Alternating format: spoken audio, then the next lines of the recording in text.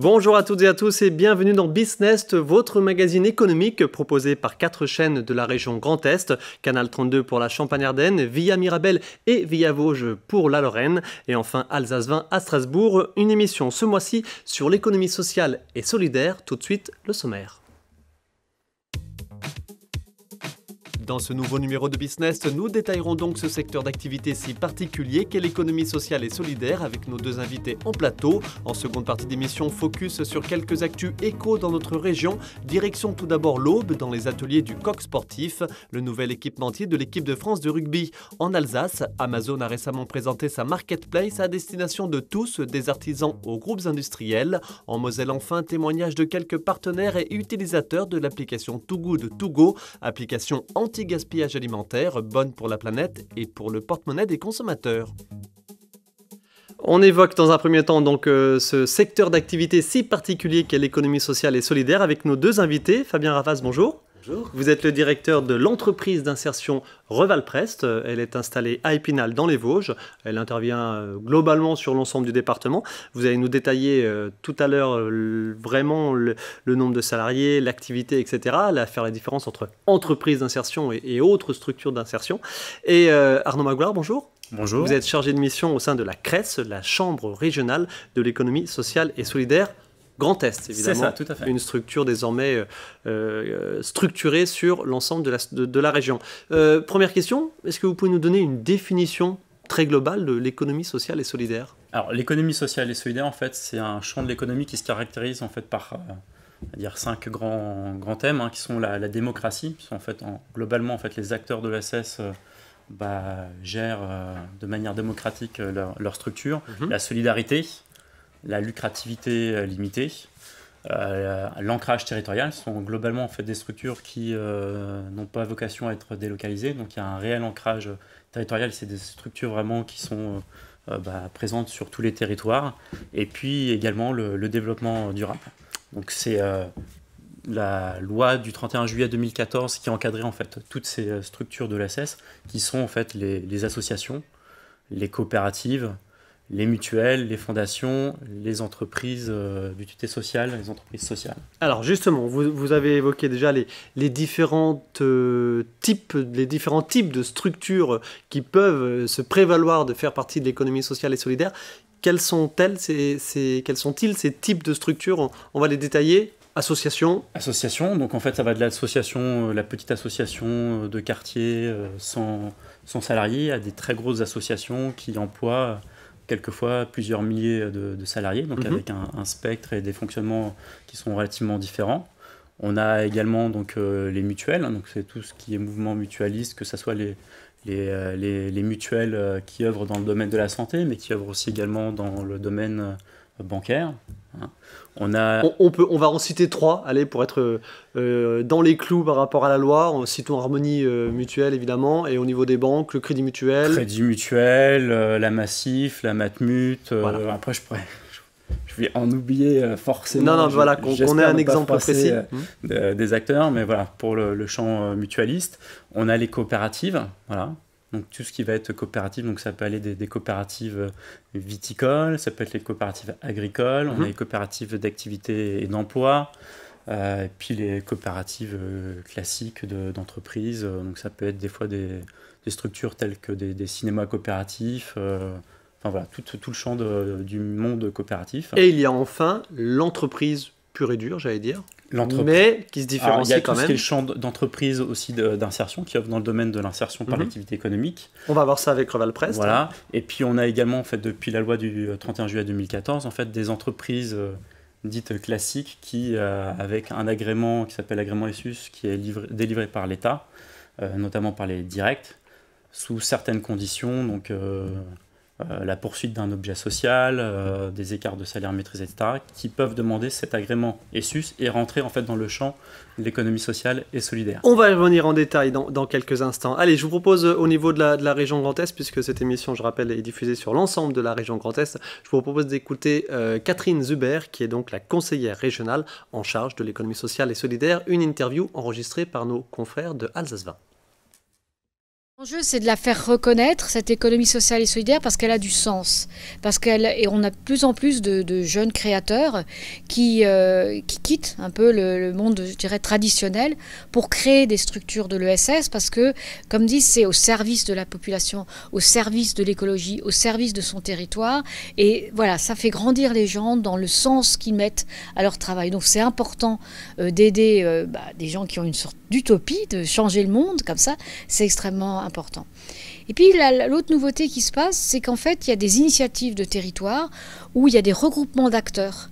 Euh, et cette économie sociale et solidaire, elle est en train d'évoluer sur des initiatives territoriales, sur des innovations territoriales, sur des expérimentations, où encore une fois, c'est le collectif qui prime pour le bien-être de tout le monde. Fabien Ravas, euh, donc euh, retour sur ce plateau euh, pour évoquer plus précisément Revalprest.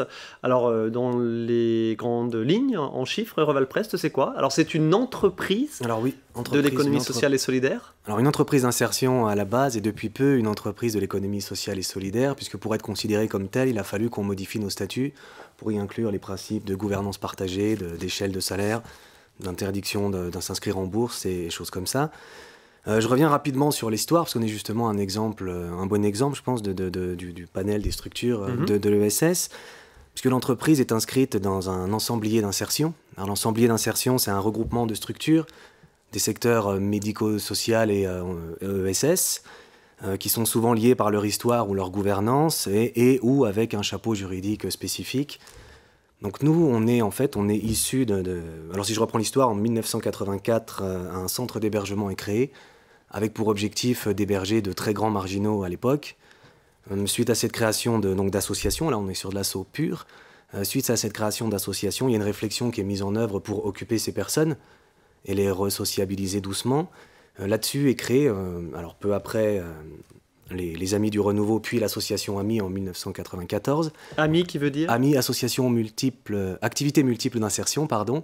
C'est donc une association, une structure qui opère sur Épinal et dans les Vosges. Une association loi 1901, euh, donc un chantier d'insertion, et euh, les réflexions sont encore menées pour aller vers euh, le secteur marchand, pour se rapprocher des conditions de travail du secteur classique en fait, et là est créé Revalprest en 2003, là, donc sous statut EURL, entreprise d'insertion euh, détenue euh, par l'association AMI. Aujourd'hui, vous êtes euh, combien et qu'est-ce que vous faites concrètement? Donc aujourd'hui, on, a, on est une trentaine de salariés. Hein. il, y a, 10, il y a 10 personnes permanentes hein, mhm. entre le staff administratif, l'accompagnement socio-professionnel des personnes et ce qu'on appelle les encadrants techniques d'insertion qui coachent les équipes sur le terrain. On a, on a un agrément pour 20 à 22 emplois CDDI, un contrat à durée déterminée d'insertion. Euh, bon, ça oscille selon les années, les marchés. Là, on a des perspectives pour l'augmenter l'an prochain. Quelle différence entre un CDDI et un CDD normal? Alors, c'est un, le CDDI est un contrat de droit classique avec euh, des, dispositions euh, assez spécifiques. On peut le renouveler autant de, fois qu'on veut sur une durée de deux ans, le temps qu'une personne est agréée sur un parcours d'insertion. Où il y a des clauses pour permettre une rupture très rapide quand la personne trouve un emploi. Le but est de systématiquement faciliter le parcours de la personne vers l'emploi et de faciliter la vie de la structure. Mais bon, tout est normé, c'est le droit du travail, on n'invente rien là. Quelle est la durée moyenne d'un contrat? Quelle est la durée moyenne de, de la présence d'un salarié chez vous? Alors, le premier contrat doit faire au Puisqu'on est bien d'accord qu'il n'a pas vocation à rester non, à vitam aeternam. Mm, ça doit être un tremplin, ça doit être une mm. redynamisation. La personne est là pour se professionnaliser et repartir vers un emploi classique, idéalement. vers un emploi, je ne sais pas pourquoi on dit classique, c'est déjà stigmatisant. c'est vrai. Euh, le premier contrat doit faire 4 mois, après on adapte selon les personnes, les parcours, les objectifs qu'on se donne sur les contrats suivants. maximum, sauf dérogation, c'est 2 ans de présence, et on a une moyenne en fait qui se situe autour de 11 mois de présence dans l'entreprise. Ok. Et ça fait un flux de 40 à 45 personnes dans l'année qui passent sur le dispositif chez nous. On, l'a vu tout à l'heure en images, mais on va peut-être revoir ces images. Euh, vos champs d'intervention, vos secteurs d'activité euh, sur lesquels, évidemment, euh, les salariés. On, on, parle de salariés On parle, de, salariés, oui, ce des salariés. Ils ont un réel contrat de travail, on les considère comme tels. Voilà. Les, vos, vos entreprises clients, vos partenaires clients, quels sont-ils? Euh, alors, historiquement... On voit par exemple justement Citraval euh, qui recycle des menuiseries. Oui, exactement, oui. On, les, oui, qui valorise. Qui valorise. Pas. Euh, si je reprends depuis le départ avec l'histoire, les, premiers, les premiers contrats qu'on a eus, c'était de gardiennage pour les des immeubles d'Épinal Habitat. Ok.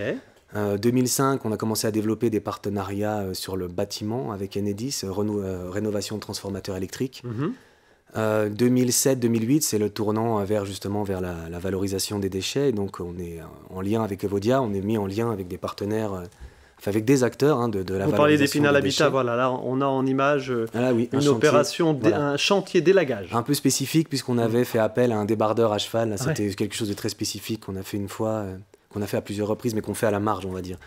Le, coin était difficile d'accès en l'occurrence et, et, on avait aussi cette volonté de travailler avec des méthodes un peu L'entretien d'espaces verts, comme ça, euh, ça représente quel euh, pourcentage de votre activité, de vos chantiers? Hmm, Alors, on, est sur euh, entre 10 et 20% selon les années. Là. Ce sont les activités historiques hmm.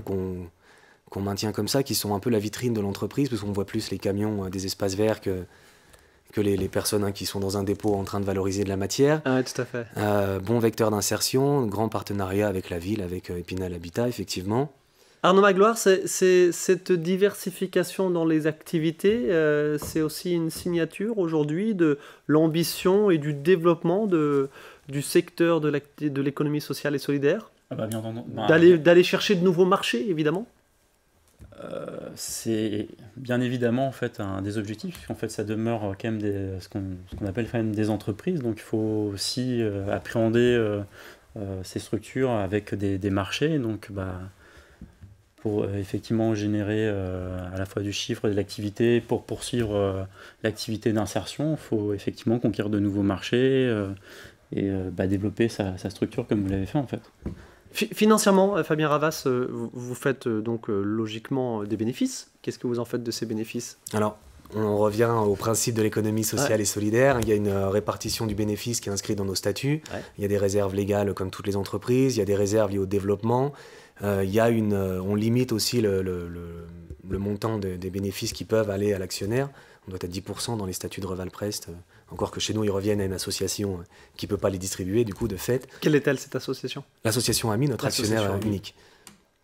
Hmm. Donc oui, l'idée c'est d'investir et de développer systématiquement ou de créer l'emploi avec Alors Arnaud Magloire, là on est sur une entreprise, on est sur une entreprise d'insertion. L'entreprise d'insertion, on l'a bien compris, c'est la dire, la, seconde phase du, chantier d'insertion, parce qu'avant, il y a le chantier d'insertion, justement. L'entreprise, ça y est, les, habitudes de travail ont été prises et l'efficience du, du salarié est, là, quoi, par rapport au chantier initial. Ah, ben, euh, oui, après, je ne suis pas le plus qualifié pour parler de tout ce qui est, à dire, insertion par l'activité économique, mais voilà, en fait, on a différents types de structures mmh. qui offrent dans l'insertion par l'activité économique. Et euh, effectivement, le degré un peu ultime, c'est l'entreprise, euh, c'est l'entreprise d'insertion. Alors, faut faire C'est un cheminement logique. Oui, oui. Alors, en faisant bien attention à ce qu'on dit, euh, les différences entre les publics plus ou moins proches de l'emploi, les différences entre les activités plus ou moins lucratives, ça ne veut pas dire qu'elles sont mieux. Elles s'adressent à des publics différents qui sont à un autre, un autre point de leur cheminement personnel. Et il n'y a pas un dispositif qui est meilleur que l'autre, puisque de, par définition, si la personne n'a pas résolu des problématiques sociales ou, ou médicales, elle n'est pas focus sur son emploi. Et du coup, voilà, il n'y a pas un dispositif qui est meilleur que l'autre. On est bien sur un autre segment du, parcours, quoi, vers l'autonomie. Ah, Arnaud Magloire, au, niveau de la région, euh, je veux dire, une entreprise, une structure de l'économie sociale et solidaire, elle n'a pas d'avantages fiscaux particuliers, elle n'a pas de, elle a aucun avantage qui la différencie vraiment d'autres structures, mais les collectivités, euh, bah, donc la région, les communautés de communes, enfin les départements, euh, des fois effectivement les, les communes, les collectivités de les communes, aident plus facilement. Ah, ça dépend en fait du type de structure et puis des fois aussi du, du champ d'intervention et puis aussi bah, des, volontés euh, des politiques publiques. Donc euh, après c'est limite en fait du, cas par cas puisque notamment quand on parle euh, du champ associatif, bah, vous avez les fameuses subventions municipales ou, ou départementales qui bah, pour le coup à l'heure actuelle sont plus en tendance baissière que haussière. Donc euh, après, vous avez des dispositifs aussi de la région, des fois, qui euh, œuvrent quand même pas mal au niveau de, l'emploi. Donc, euh, il existe effectivement en fait un panel d'aides, mais qui sont spécifiques bien souvent par rapport au type de structure dans lesquelles on offre, que ce soit le milieu associatif, les coopératives, etc. En, image, on a l'entreprise de tri textile Vosges VLC. TLC. TLC, pardon, euh, qui est installé à Girmont, c'est à côté d'Épinal, dans, les Vosges. Euh, Arnaud Magloire, je reviens sur la gouvernance, parce que ça, c'est important, dans, c'est ce qui différencie, entre guillemets, évidemment, une, une structure de l'économie sociale et solidaire d'une autre structure. Ça, c'est important parce que ça permet d'autant plus d'impliquer, évidemment, tous les acteurs dans le développement d'une entreprise, d'une association, d'une coopérative agricole. Oui. Chacun a quelque chose à dire, a son mot à dire bah, Par exemple, dans les associations, on a les assemblées générales euh, d'adhérents, donc où chacun, enfin, chaque adhérent peut participer effectivement à la, à la vie de la structure euh, et à la gouvernance, mhm. et être même euh, prendre part hein, directement, bah, faire part de, la direction, enfin, de la direction de la présidence. On a, ça, ça, correspond bien à, à un certain air du temps, je veux dire, de l'implication citoyenne à tous les niveaux oui, de plus en plus. Et puis on voit aussi effectivement de plus en plus de, jeunes qui veulent s'engager, qui euh, veulent aussi appréhender le, milieu du travail autrement. Et c'est vrai qu'il y a un petit regain aussi euh, d'intérêt, notamment pour les structures qui offrent dans l'économie sociale et solidaire, notamment auprès, des, auprès des jeunes. Et, aussi, pardon, et aussi des fois en fait de, personnes qui, euh, après un parcours dans des structures dites classiques, souvent on peut assimiler ça à la, crise de la quarantaine, se disent bah ouais, je, euh, je poursuis une quête de sens et j'ai envie ben, d'intégrer une structure qui est un peu différente euh, Là, on pense tout de suite à l'économie euh, sociale et solidaire. Ok, allez, affaire à suivre sur le développement de l'économie sociale et solidaire sur l'ensemble euh, de notre territoire de la région Grand Est. Je vous propose de regarder quelques reportages euh, des autres chaînes de télé locales de la région Grand Est et puis je vous ferai réagir. Ah, on prend tout de suite la direction de Troyes, de l'Aube, avec la marque Le Coq Sportif qui désormais équipe l'équipe de France de rugby un bleu unique, un col polo inspiré des anciens maillots et une manche tricolore. Voici le nouveau maillot des équipes de France masculine et féminine de rugby. On a choisi d'appeler ce bleu le bleu France. C'est la première chose qu'on a commencé à travailler avec eux, c'est de se dire quel est le bleu euh, France de la Fédération de rugby.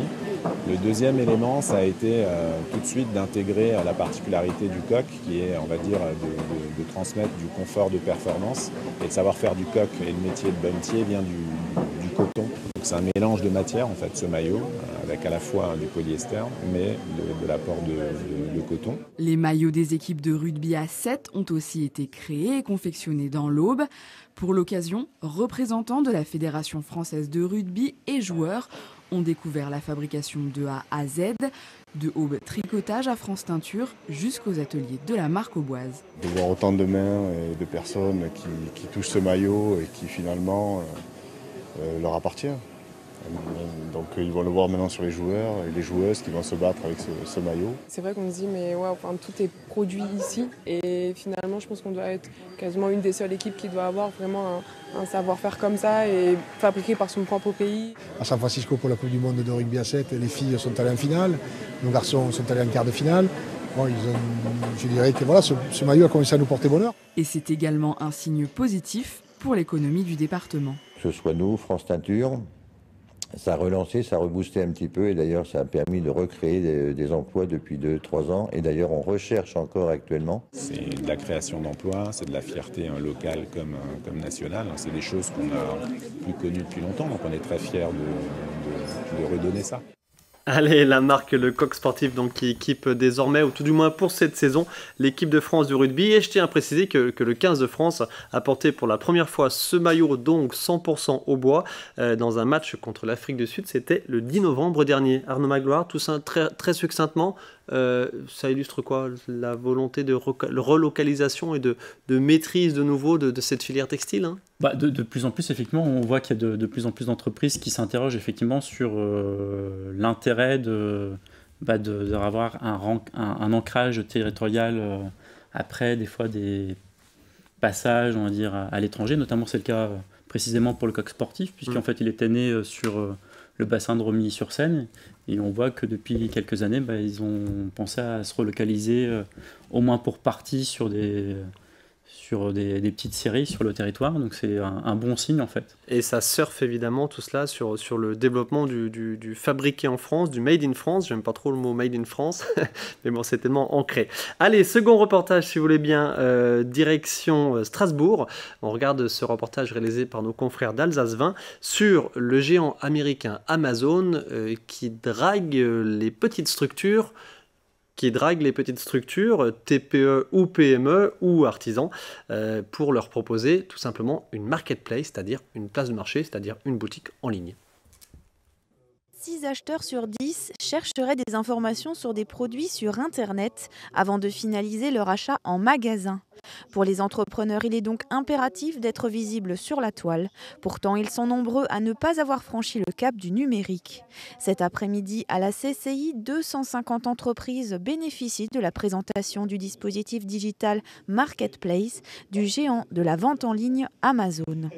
C'est une panoplie d'outils et de services à travers lesquels Amazon met à la disposition des TPE, des PME, des producteurs, des commerçants, des entrepreneurs de toute taille, des outils pour franchir le pas du digital. C'est l'opportunité pour eux d'aller chercher ces clients qui viennent sur Internet euh, pour euh, faire leurs courses. Concernant la digitalisation des entreprises, la France aurait un retard considérable comparé aux autres pays. Seuls 16% des entreprises auraient franchi le pas. On est dans ce processus d'accompagnement depuis un long moment auprès de nos commerçants pour, pour leur aider à comprendre les enjeux, à, à, muter, à muter leur point de vente. Et je crois que là, on est complètement dans notre euh, mission d'accompagnement des entreprises de proximité. Grossiste en maroquinerie, l'entreprise alsacienne Lille Sac utilise depuis quelques années la plateforme digitale Marketplace. Ils ont eu l'occasion cet après-midi de partager leur expérience. À partir de 2015, en fait, on a, on a intégré Amazon. Ça nous a permis euh, d'avoir un peu plus de visibilité. Parce qu'avant, on travaillait beaucoup en grande distribution sur le Grand Est. C'est pour ça qu'on a intégré la plateforme. Nous, ce qu'on fait, en fait, c'est qu'on expédie directement les marchandises dans les entrepôts d'Amazon pour pouvoir ensuite euh, dispatcher les différents produits dans différents pays aussi. Pour l'instant, on est en constante augmentation de chiffre d'affaires et on est assez content du service. À l'issue de la conférence, les entrepreneurs ont pu profiter de conseils de coach et d'ateliers participatifs. Allez, on se permettra quand même de souligner évidemment qu'il y a aussi des acteurs régionaux ou locaux euh, qui proposent des marketplaces, qui proposent comme ça des, investissements euh, sur la toile pour valoriser l'activité. Arnaud Magloire, est-ce qu'une structure de l'économie sociale et solidaire euh, peut se donner une visibilité comme ça sur cette nouvelle économie du numérique? Pourquoi pas? Ah bah pour, on, a beaucoup parlé d'insertion, il y a plein de secteurs d'activité faut pas, enfin, faut pas hésiter. Il y a de plus en plus de structures, enfin, ESS, qui investissent effectivement le champ numérique de toute manière, à la fois pour effectivement des nouvelles opportunités d'affaires, mais aussi pour de la visibilité, parce que bien mm. souvent, en fait, les, structures de ESS souffrent un petit peu d'un manque de visibilité, donc c'est pour ça qu'elles investissent de plus en plus sur au moins une représentation euh, numérique, euh, voilà, les, réseaux sociaux. Euh, et puis quelquefois des places de marché. Euh. Et, je rappelle, le, le, le, leitmotiv de cette émission, c'est qu'on est ce mois de novembre dans euh, le, mois, de, l'économie sociale et solidaire, avec plein d'animations qui, qui ont été organisées sur l'ensemble du territoire. Allez, troisième reportage, direction la Moselle, si vous voulez bien. Un reportage de Mirabel TV sur l'application Too Good To Go. On est dans le numérique, mais on est dans le numérique vraiment euh, très concret et je veux dire pour la bonne cause, puisque l'idée c'est de réduire le gaspillage alimentaire. Conscient que les ressources de la planète ne sont pas inépuisables, Georges Gross lutte depuis des années contre le gaspillage alimentaire.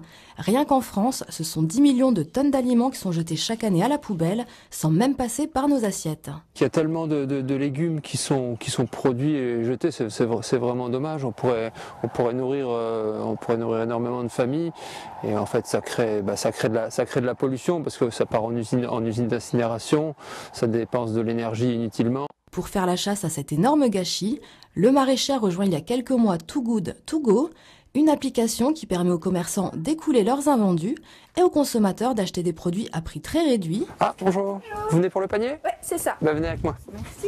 Vous avez 6 œufs, des betteraves rouges.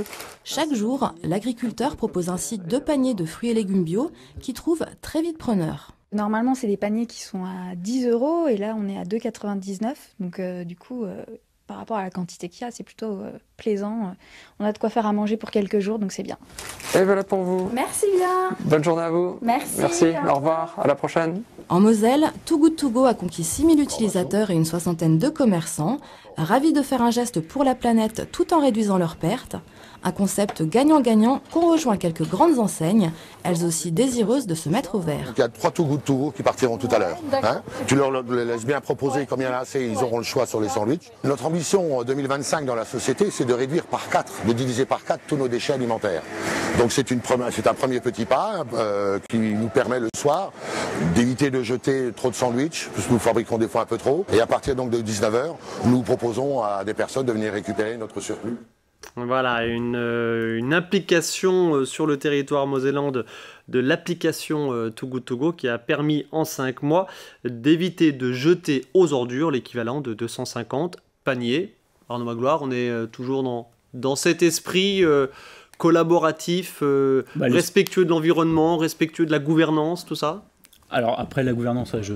oui, pour ce qui est de l'application, en tout cas dans l'esprit. En tout cas dans l'esprit sur le, partage, la, mise en relation, euh, l'esprit collaboratif, oui, c'est euh, ça peut effectivement rentrer dans, dans le champ de l'économie sociale et solidaire. Après, effectivement, c'est une réelle problématique, la gestion en fait des, des, déchets, surtout des invendus. Et c'est avec, on l'a vu, des emplois à la clé éventuels. Des emplois à la clé, mais c'est surtout de se dire, voilà, on... Donc, pourquoi pas des livreurs, pourquoi pas des... Pourquoi pas des livreurs, mais se, se poser la question effectivement de tout ce qui est cette surproduction qui euh, génère autant de, autant de déchets. Merci à tous les deux de, votre participation à cette émission donc sur l'économie sociale et solidaire. Plus d'informations, pourquoi pas, auprès de la CRES, euh, je le rappelle, la Chambre régionale de l'économie sociale et solidaire, dont le but est d'informer, de, de démocratiser, euh, de sensibiliser tous les publics à ce type d'économie si particulière. Bonne continuation à Raval Presse, évidemment, dans les Vosges et ailleurs. Merci à vous de votre attention. On se retrouve très bientôt pour un nouveau business.